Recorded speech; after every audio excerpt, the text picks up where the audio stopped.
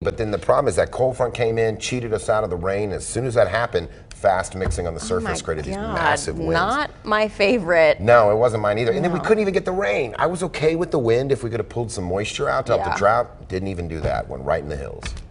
Well, that's it. We're your new morning team, by the way. Hey, yeah. Thanks so much for watching, everyone. We will see you bright and early tomorrow morning.